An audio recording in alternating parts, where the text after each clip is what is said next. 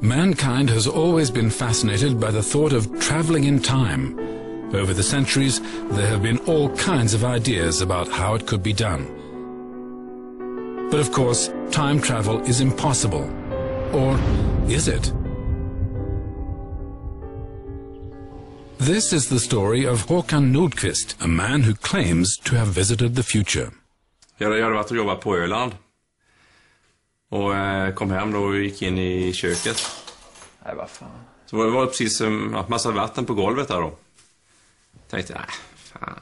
Ja, det är något rör där under diskhon och...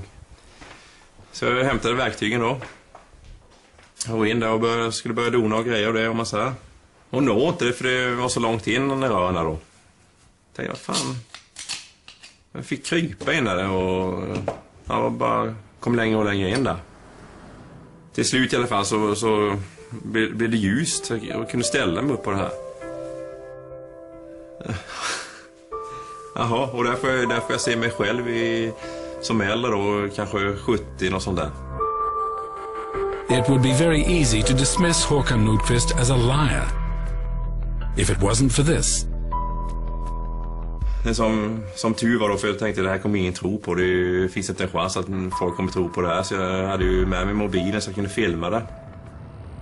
Ja, vi stod där och, och tjafsade lite och... Ja, det var riktigt god, god känsla var det. Hur gött som helst. Let's suppose for a moment that Håkan Nordqvist is telling the truth. If so, is there an explanation? We asked Hans Carlson, professor in theoretical physics. Det finns en massa teorier om att resa i tiden. En sådan teori är tvillingparadoxen. Det finns teorier kring svarta hål. Det finns teorier kring maskhål.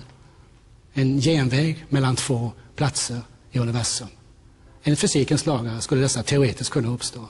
Sannolikheten är visserligen inte särskilt stor, men de teoretiska förutsättningarna finns så att uh, man kan inte avfärda det. Nej, men jag vet ju bara att jag träffade mig själv i framtiden och att jag... Nej, men att jag hade det jävligt gött. Sen får ju folk tro vad de vill. Håkan Nordqvist stands by his claim, and scientists can't completely dismiss his story. Even so, the question remains, is this really possible?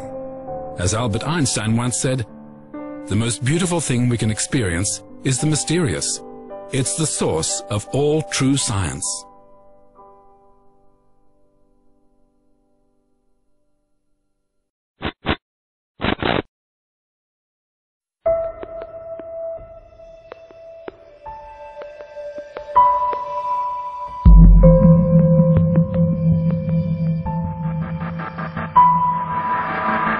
AMF Pension, Sweden's biggest and best-known pensions company, had a problem.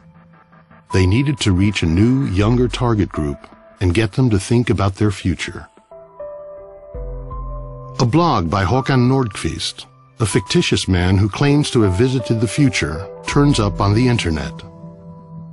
He is distributing a short film taken on his mobile phone, evidence that the journey into the future actually took place and that he met himself. A great many people and newspapers contact Håkan wanting to know more. The fictitious production company, Machine Films, contacts Håkan Nordqvist about making a documentary based on his experience. Machine Films need a sponsor and contact AMF Pension, who agree to sponsor the project.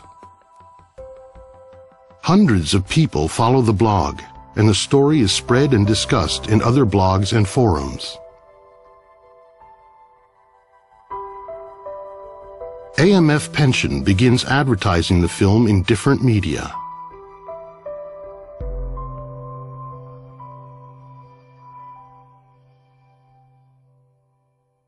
After a long countdown on the blog, the film, Is Time Travel Possible?, premieres on the AMF website and Sweden's TV4.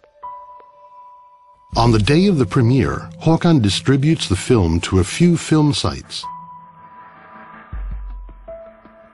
And from there, it is distributed onward.